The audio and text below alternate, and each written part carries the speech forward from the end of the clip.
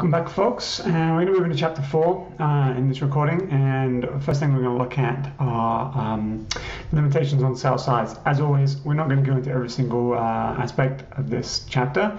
Uh, the learning outcomes can guide you to the important things that you need to know for assessment and you should probably read holistically so you get the big picture on, on the topics we're talking about.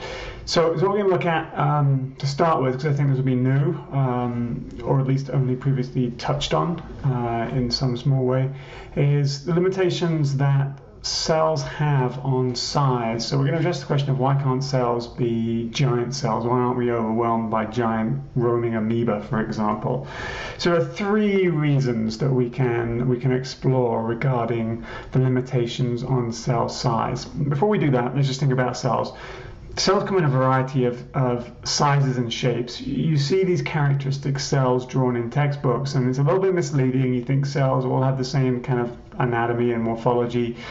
Huge diversity in the cells that, that, that we find um, in, in uh, in our bodies and in the ecosystems, ranging from um, simple bacteria up to uh, larger bacterial aggregates in some places, uh, simple protozoa like amoebas, and then, you know, uh, colonial algae like Volvox, moving up through the complexity of the fungus uh, into uh, complex higher plant tissues, um, and obviously the, the, complexity we see in animal cells with a variety of different functions. So we got a whole range of sizes and shapes.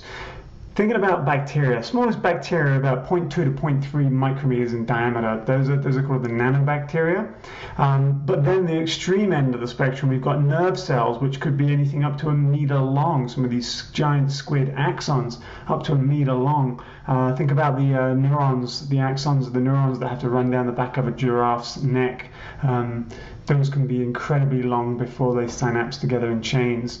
Um, so, but despite those kind of extremes on each end of the spectrum, um, cells tend to fall into a predictable size range. So, bacteria, they're normally like one micrometer to five micrometers in length. E. coli standard bacteria is about two micrometers in length. Um, eukaryotic cells, animal cells specifically here, they're ranging from about 10 to 100 micrometers. So, um, uh, a mammalian egg uh, in humans uh, it's about 100 micrometers, uh, 0.1 to 1 millimeter in length. But then there are some larger animal cells, frog eggs, for example, they can be significantly larger. So generally cells are pretty small and we need microscopes to, to, to uh, examine them structurally. Um, and we talked about microscopy before, so we won't need to get back into that. Let's go back to these three limitations on cell size. First of all, you can't get bigger than a certain size of your cell because you have to maintain an adequate surface area to volume relationship. And we'll talk about that in a moment. So there's a ratio between the surface area, that's obviously the surface, the, the plasma membrane surface, um, a ratio between the surface area and the volume. You've got to maintain that sufficiently high, and we'll talk about that in a moment. Second, um, the rates of molecular diffusion, how quickly molecules can move around in a cell. Um, if it's going to take them 40 minutes to get from one side of the cell to another side of the cell because the cell is so large, then biochemistry doesn't work. Second thing is, we have to have cells that, which are sufficiently small in many cases so that you can locally concentrate um, uh, substrates for biochemical reactions so that reactions can actually occur in a meaningful time frame. Now eukaryotes overcome this a little bit by making organelles, so that, that, that helps a little bit by confining certain reactions and certain substrates for those reactions into, into smaller volumes within the cell. Um, so let's explore this first one, the need to maintain a high surface area to volume ratio.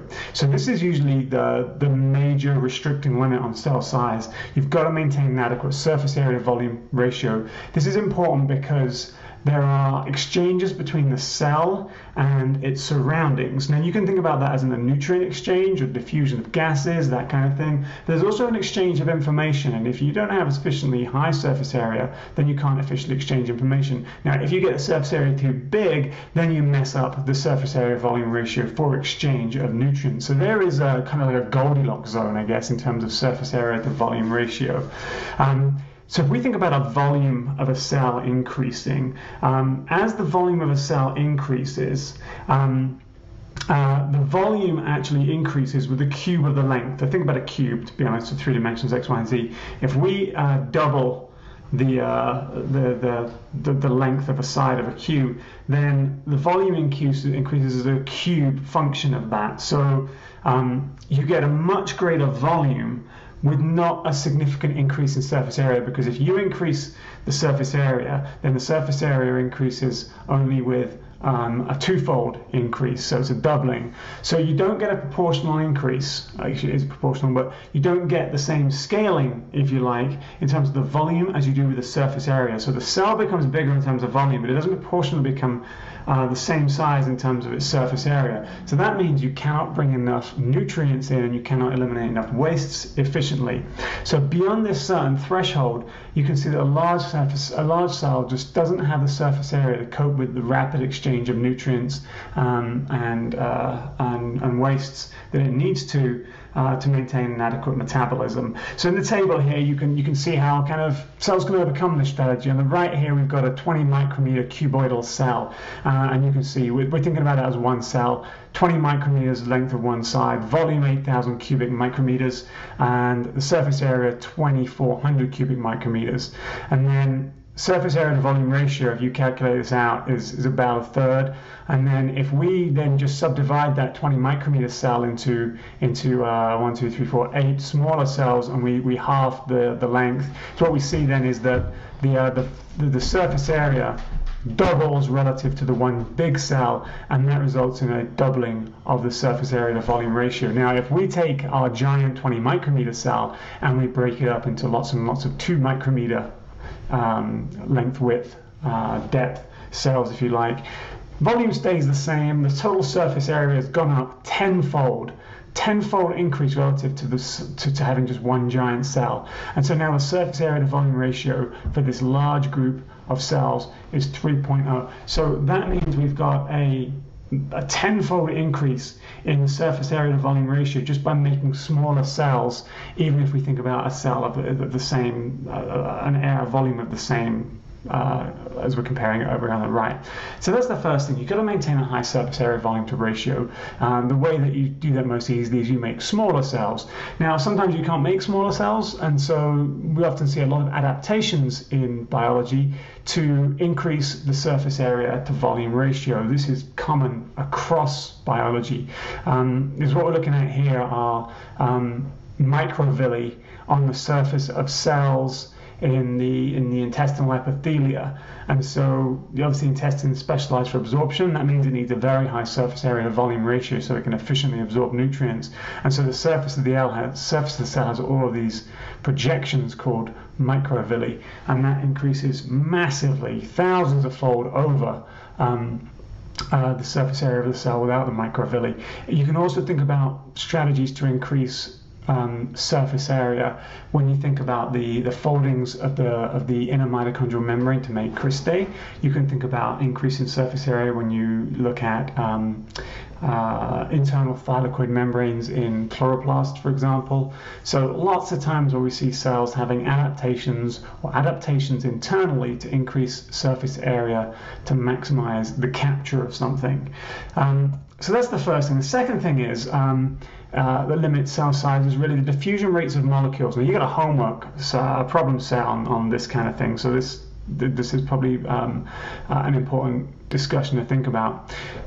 So the first thing to think about with diffusion is that diffusion is completely random. Um, it's determined by the initial starting velocity and direction of a molecule, but then the size of the molecule, the temperature of the, of the, the system, and the concentration of other things that the, the, the solute that's diffusing can collide with. So that includes confining barriers like the membrane, other organelles, which obviously going to be, have massive masses compared to a small molecule, and then other molecules of a diversity of, of, of sizes, which um, which will affect the diffusion. So this is a completely random process. You can't predict the walk, the, the, the pattern that a molecule will make as it moves from one place to another in the cell. So we're thinking about this happening really in um, in uh, in the in the cytoplasm. So that's everything that's outside the nucleus and outside the organelles, but inside um, inside the uh, plasma membrane. So many, many, many, many types of molecules and ions move around the cytoplasm purely by diffusion. Uh, so this, as you know, is just the unassisted movement of a molecule from a place of high concentration to low concentration, um, but all molecules will be diffusing. When we think about going from a high concentration to a low concentration, that's a net movement. That means, on average, things will move from the high concentration to the low concentration until we reach equilibrium. The things will still be moving around. Things from the low concentration will be moving over to the high concentration area. So this is random. Eventually we'll come to equilibrium unless we do some work to maintain this disequilibrium. So this diffusion process is completely random. Now, as the molecule gets bigger, diffusion rates drop. As temperature drops, diffusion rates drop. So there are a number of factors which influence um, um, uh, the rate of diffusion. So slow diffusion rates are going to hamper you biochemically. If, if, you need to get substrates into a certain place in the cell so that you can uh, perform some biochemical reactions and you're relying on those substrates arriving by diffusion, something with a low diffusion rate is going to be uh, problematic. So as you increase the volume, you can now pretty easily see that it's going to take longer for, for substrates for biochemical reactions to diffuse around the cell. And if you think we have volume increases as a cube function, whereas surface area increases as a doubling, then as you double the kind of diameter, if you like, it's going to now take things three times slower, and then we double again, and there's another three times slower. So increasing volume means that by getting bigger means that you cannot do biochemistry fast enough in the cell for the cell to maintain the adequate metabolism it needs for survival and or growth. So cells have strategies to overcome this kind of thing. Uh, you, have heard about microtubules uh, being used to carry uh, cargo around the cell. Other molecules are involved in active transport processes of uh, molecules around the cell. Um, and then there are processes such as cytoplasmic streaming, uh, which is called cyclosis in plants. And if you've ever looked at an elodea down a microscope, it's the, uh, the, the kind of the pondweed you use in general biology on labs to look at cells, um, you can often see the streaming of cytoplasm around the nucleus and around the large central vacuole. Uh, and that speeds up the movement. And so that's, um, that's a fluidity movement that's generated in the cytoplasm called cytoplasmic streaming. streaming. So there are ways to overcome this. There are adaptations in cells to, to, to increase the effective diffusion rate. Um, but by and large, you can't get too big because you can't move things around fast enough just relying on diffusion. Uh, the third thing uh, that limits cell size is related to this diffusion problem, and that's obtaining adequate concentrations of reactants and catalysts for, for chemical reactions. So um, if you think about this cell on the right-hand side here, that's a bacterial cell, and it's much smaller by and large, about two micrometers in length relative to this animal cell on the left, which is now much larger, let's say 25 micrometers. And so its volume is disproportionately large to, compared to its surface area when we compare it with the, the bacteria. Um, so this means that you've either got to get much higher concentrations of reactants and catalysts into that cell, catalysts being enzymes, um, or you've got to have some strategies to make sure you have very high concentrations. So for a reaction to occur, you've got to have the reactant, uh, two reactants, let's say, they've got to come together. So they've got to collide. So that's a function of diffusion. And then we've got to collide them. We've got to react. We've got to, we've got to put those two things, those two substrates, together with the enzyme. And so we've got to get these two substrates and an enzyme together. And if we're relying on diffusion, if we've gone from a small bacteria to a large eukaryotic cell, this is problematic. So um, if you increase the concentrations of the catalysts or the substrates, reactions go faster. That makes intuitive sense up to a certain point. Um, but the more substrates you have for the reaction, the more catalysts you have, the faster the reactions will go. And so the problem, one of the, one of the problems that cells face is as they get bigger, as we go from prokaryotes to eukaryotes, biochemistry will tend to slow down, and is what you'll see are slower growth rates as one of the consequences of that. These guys divide very quickly, smaller genome, smaller volume, faster biochemistry, greater growth, growth rates. Bigger genome, larger volume, slower biochemical processes, slower growth rates. Divides in 20 minutes, this animal cell probably divides in 24 to 36 hours. So how do you overcome this? So what this cell here does is it um, it overcomes this problem partly by compartmentalization. Compartmentalization is things like having mitochondria for plant cell chloroplasts. Uh, this cell in plant cells, Golgi, hydrogen, um, uh, peroxisomes, lysosomes, all kinds of structures which allow us to concentrate reactants so that biochemistry can occur.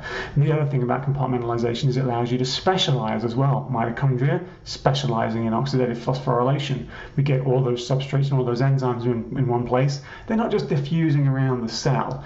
So those organelles of, of, of most eukaryotic cells aid in the accumulation, the concentration of substrates, and in the in the specialization in particular parts of the of the, of the cytoplasm of certain biochemical reactions. Um, so make sure you can kind of think about organelles and how they overcome this problem of, of cells getting bigger. Now, if we didn't have these, then things would grow much, much slower than they already do. So the, the compartmentalization helps uh, cells achieve reasonable growth and division rates. Now, it's, it's easy to think about this prokaryotic cell as relatively simple and this cell here to be relatively complex, and that's totally fine because the bacterial cell is, is, is simple but compared to this. Um, some people like to say this is less evolved than this cell on the left, but and that's completely incorrect um, because bacteria are very well adapted to many, many, many ecological niches. They also do have certain kinds of compartmentalization. For example, the DNA is restricted to this region of the cytoplasm called the nucleoid, and that means that we can have DNA replication and transcriptional processes confined to a particular place in the cytoplasm, and that's usually mediated by by um, making kind of uh, internal domains in the cytoplasm where you have specific proteins localizing due to their interactions with the DNA and with one another. Um, now, if we look at a gram-negative bacteria, now that's a bacterium which has an inner membrane and then an outer membrane. And so when you have this set up, you effectively have a compartment between those two membranes in, in gram-negative bacterium. And so you have the, the, the, plasma membrane, then you have some cell wall material in the outer membrane. That effectively makes a compartment. And that means that, that that bacteria can do certain things using that compartment. For example, it accumulates protons in there. You probably know what that may, um, uh, that may lead to. Um, other bacteria, there's a bacteria called Caulobacter crescentus that can accumulate certain proteins in uh, its cytoplasm and around its cell wall, which allows it to divide. So it divides like um, in a croissant or a comma shape. Um, so there are examples of compartmentalization in prokaryotes. Um, so don't think that this is simple and stupid and poorly evolved, and this is complex and smart and brilliant and wonderful. Um, bacteria can exist in many, many, many more ecological niches than eukaryotic cells can. So in some senses, this is much more highly evolved. But um, let's not get into that right now. So we'll wrap up there. Uh, I've talked a little bit longer than I had planned to. And next time we're going to look at a couple of organelles that we probably haven't looked at in general biology, uh, things like peroxisomes. So I'll see you next time.